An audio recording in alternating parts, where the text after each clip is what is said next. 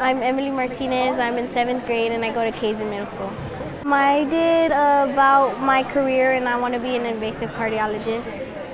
Well, when I was little, I wanted to be a doctor, but like I researched different like types of doctors, and I like this one.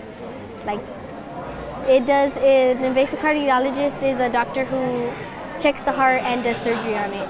Um, this is my life at a glance. It just talks about like everything and what it, what my career is. These are facts. My career information. It times to take the time it takes for a degree. Um, about my house, my possible salary range, and my tuition cost.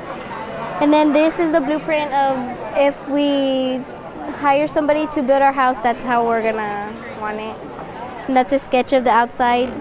And then this is a career goal plan of everything you have to do to get to your to be your job. And then this is my personal budget. It's okay.